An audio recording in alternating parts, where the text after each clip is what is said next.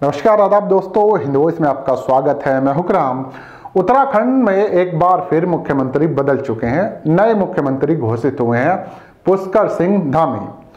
पिछले, अगर मैं बात करूँ, साढ़े चार सालों की तो उत्तराखंड में बदलाव भले ही ना हो, लेकिन तीन बार मुख्यमंत्री बदले जा चुके हैं। और जब भी मुख्यमंत्री बदले हैं, उससे पहले कुछ ना कुछ नया विवाद ज़रूर शुरू हुआ है।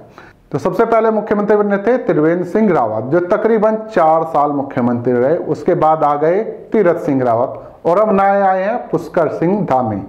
तो पिछले साढ़े चार साल में उत्तराखंड को तीन मुख्यमंत्री नवाज़ चुके भारतीय जनता पार्टी।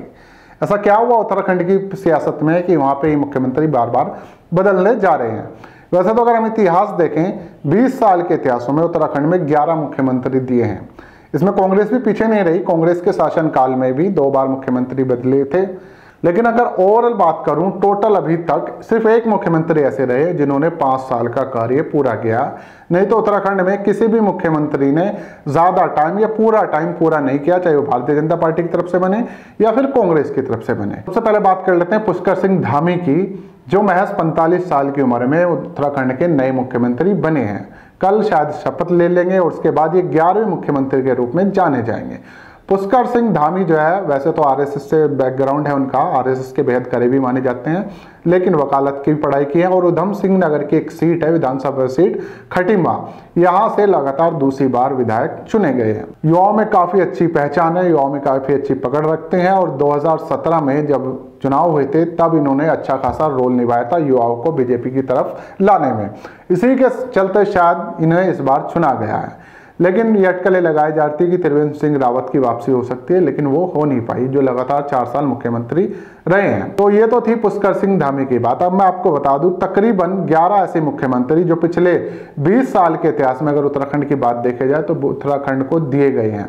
बीस साल पहले जब उत्तराखंड बना था, उत्तर प्रदेश से अलग करके, उत्तर प्रदेश का एक तरह से पश्चिमी उत्तर प्रदेश का इलाका माना जाता था, ज़्यादातर पहाड़ी इलाका है। इसमें एक ज़िले को छोड़कर शायद ही कोई प्लेन एरिया है, हरिद्वार को छोड़कर, बाकी सब ज़्यादातर पहाड़ी क्षेत्र हैं। इसके अलावा उत्तराखंड जब अलग हुआ तो उत्तराखंड को अलग करने में बहुत सारे लोगों ने अपना योगदान दिया, बहुत सारे लोगों ने इसके लिए काफ़ी संघर्ष किया था, काफ़ी लोगों की जान भी गई थी, और मुजफ्फरनगर जैसे इलाकों में एक बड़ा कांड भी हुआ था, जिसको याद करके उत्तराखंड वासी आज भी सिहर जाते हैं।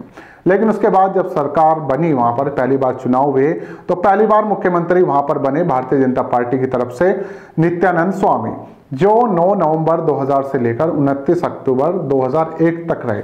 यानी कि महज एक साल का वक्त ही उन्होंने गुजारा होगा। उसके बाद भगत सिंह कोश्यारी, जो आज महाराष्ट्र के गवर्नर हैं, उनको मुख्यमंत्री बनाएगा 30 अक्टूबर 2001 से लेकर 1 मार्च 2002 तक। इसके बाद चुनाव हो जाते हैं, उत्तराखंड और यूपी के चुनाव एक साथ होते हैं, ये आप लोग भी ध्यान रखिएगा। यहाँ पर सरकार बदलती है और कांग्रेस की सरकार आती है।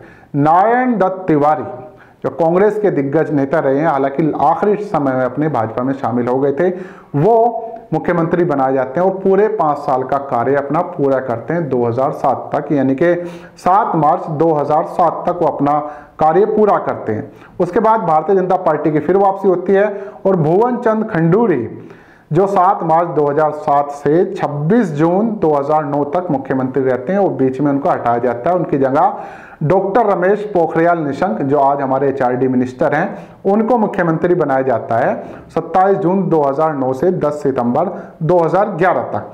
लेकिन फिर बीच में क्लैश शुरू हो जाता है भारतीय जनता पार्टी की सरकार में वहाँ पर और उसके बाद फिर भुवन चंद खंडूरी को मुख्यमंत्री वापस बना जा, दिया जाता है 11 सितंबर 2011 को। और ये रहते हैं 13 मार्च 2012 तक, यानी कि जब तक चुनाव नहीं हो जाते। उसके बाद कांग्रेस फिर वापसी कर लेती है और कांग्रेस वापसी करते ही मुख्यमंत्री बनाती है विजय बहुगुणा को, जो 13 मार्च 2012 से लेकर 31 जनवरी 2014 तक मुख्यमंत्री बने रहते हैं। लेकिन कांग्रेस में भी क्लैश शुरू होती है और विजय बहुगुणा को जाना पड़ता है। उनकी जगह आते हैं हरीश सिंह रावत।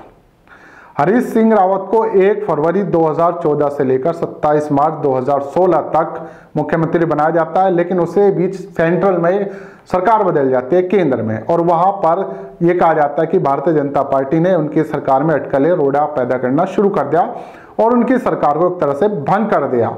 उसके बाद वो किसी तरह से हाई कोर्ट पहुँचते हैं और हाई कोर्ट के एक जज हैं जिनको लेकर बाद में काफ़ी सीधे चीज़ें सामने हुई हैं, पर काफ़ी सारा विवाद भी रहा। वो मैं स्टोरी आपको फिर कभी बताऊँगा। वो सरकार की बहाली कर देते हैं और हरीश सिंह रावत को दोबारा से मुख्यमंत्री बना दिया जाता है। 21 अप्रैल 2016 से 22 अप्रैल 2016 तक। इसके बाद जब सरकार बहाल हो जाती है तो हरीश रावत को फिर से मुख्यमंत्री बनाया जाता है 21 अप्रैल को। लेकिन पता नहीं क्या होता है कि 24 घंटे के अंदर ही 22 अप्रैल 2016 तक ही वो मुख्यमंत्री रहते हैं, उसके बाद फिर से वो हट जाते हैं। इसके बाद फिर दोबारा से हरीश सिंह रावत को लाया जाता है और 11 मई 2016 से लेकर 18 मार्च 2017 यानी कि जब दोबारा विधानसभा होते हैं, तब तक हरीश रावत मुख्यमंत्री रहते हैं। यानी कि दो बार मुख्यमंत्री का चुनाव हुआ कांग्रेस के बारे में भी, हालाँकि बीच में खुद ही एक दो बार हटे, फिर से लग गए। विजय उगुणा रहे, हरीश रावत रहे। फिर आते हैं सरकार भारतीय जनता पार्टी की दोबारा से। और मुख्यमंत्री बनते हैं त्रिवेंद्र सिंह रावत 18 मार्च 2017 को। ये और इनको हटाया जा, गया था, आप लोगों को याद होगा 9 मार्च 2021 को। उसके बाद तीरथ सिंह रावत आप लोगों के सामने आए, जिन्होंने ऐसी ऐसी बयानबाजी की कि एक बार को तो उनको 20 दिन के लिए आइसोलेट ही होना पड़ा कोरोना की वजह से कि भाई कोरोना हो गया। उसके बाद तीरथ सिंह रावत का जो कार्यकाल आपको पता ही है कि 2 जुलाई 2021 को खत्म हो गया। उनकी जगह अब ये पुष्कर सिंह धामी, जो आज मुख्यमंत्री के रूप में घोषित हुए कल शपथ ले लेंगे। अब देखते हैं, पूरे जितने आगे छः महीने बचे हैं तकरीबन, उसमें टिक पाते हैं या फिर से एक बार चुनाव हो सकता है मुख्यमंत्री का। अब देखते हैं कि जो पुष्कर सिंह धामी मुख्यमंत्री बने भारतीय जनता पार्टी की तरफ़ से, वो पूरे छः महीने बिता देते हैं या बीच में कुछ और नया विवाद सामने आ जाता है। उनका हटाया जाता है या नहीं हटाया जाता, या फिर ये छः महीने अपना पूरा कर लेंगे। लेकिन उन्होंने वादा किया कि हम काम करेंगे, हम विकास करेंगे, जैसे तीरथ सिंह रावत ने किया था, जैसे त्रिवेंद्र सिंह रावत ने किया था। तो पिछले बीस सालों में तकरीबन ग्यारह मुख्यमंत्री रहे हैं उत्तराखंड के अंदर। इसमें कांग्रेस भी उसी डाल पर रही है और बीजेपी भी उसी चाल पर रही है।